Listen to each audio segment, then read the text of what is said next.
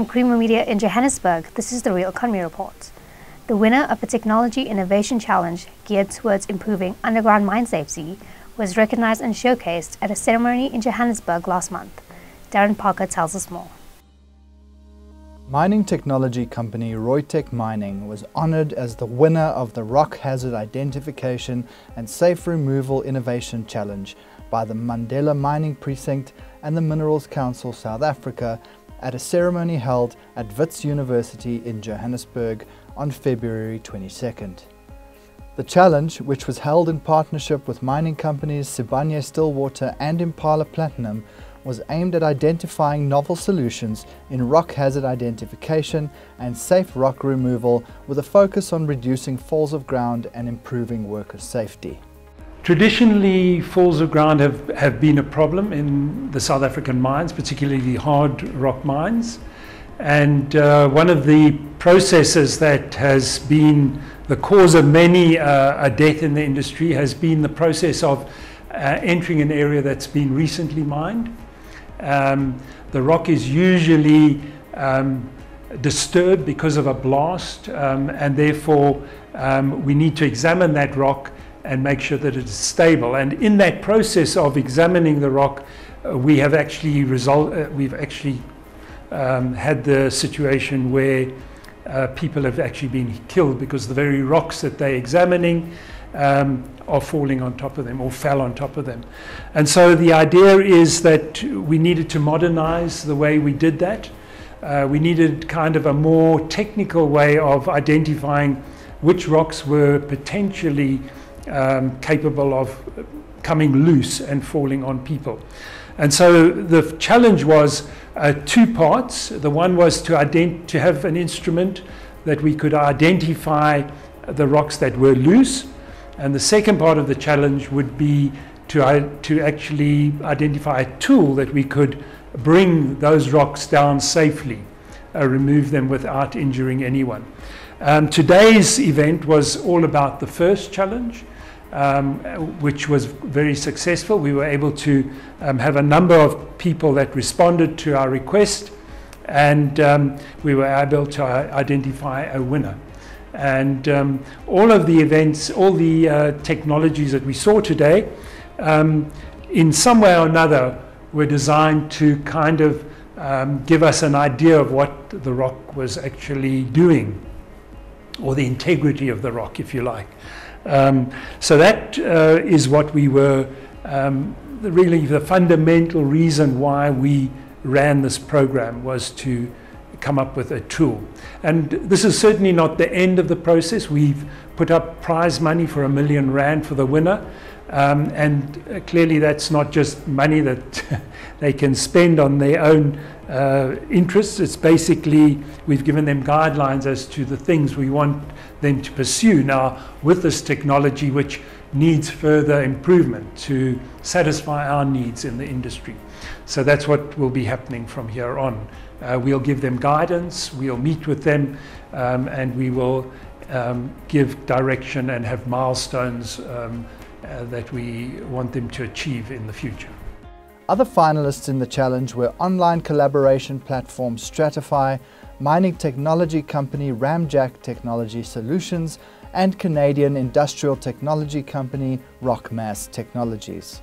Reutech was chosen as the winner um, for a number of reasons. Um, their technology was quite advanced. Um, in other words, they were, they've already used their technology um, to good effect. They actually have a, they've shown that they can identify fractures um, beyond the face that we look at. Uh, in other words, into the rock. They can look a little bit into the rock. Um, clearly, we are interested in what's happening on the surface, but often um, what happens on the surface is being dictated by what's happening beyond. There are fractures that go into the rock, and their technology is able to look fairly deeply into that rock. Um, so that was one of the reasons. They are a big company with um, a lot of um, know how in terms of research and development. Um, and we felt that they would be a good partner to work with. They are a South African company. Um, and um, they have very good people that uh, understand the mining industry, understand our problem. Um, but above all, I think their technology was the one that uh, made was closest to giving us um, very good solutions to our problem, and would be quite easily adapted um, to a lot of different uh, scenarios. Uh, not only tabular narrow stoping, but also board and pillar mining. It can be used in coal mines, which are softer rock. They could be used in hard rock as well. While the first part of the challenge has now been concluded, focusing on rock hazard identification, the second part of the challenge, which seeks to find ways to safely remove hazardous rocks, remains open. We actually, while we were running this challenge, parallel to it, we were running another challenge uh, to find out if there was technology in, um, in the public domain um, worldwide uh, to actually address the safe removal. And the sad thing was we, we only had two responses, and both of them were very, very um, expensive solutions um, and were also um, a little bit too big for the kind of uh, solution we wanted. Uh, one must understand that we are wanting to help the people um, who are entering fairly confined spaces on a daily basis. So every working place on every South African mine has to be examined. Uh, we just didn't see those solutions that were forthcoming as um, cheap enough and uh, practical enough to be used in the average stope or even a mine opening.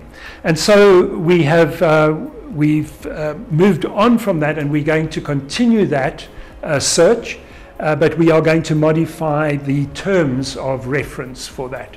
So we're going to be very much more specific, um, looking at perhaps uh, dictating to those that want to compete um, for much simpler technology, um, much lighter technology, um, something that could be uh, cheap enough for every single working panel to have one available to people. One of the things that came out was um, exoskeletons. And um, these are um, parts that you wear to strengthen the human body. And we feel that that might be one of the challenges or one of the things that we could pursue um, as a solution, a, a semi solution. So, in other words, the user will be uh, strengthened.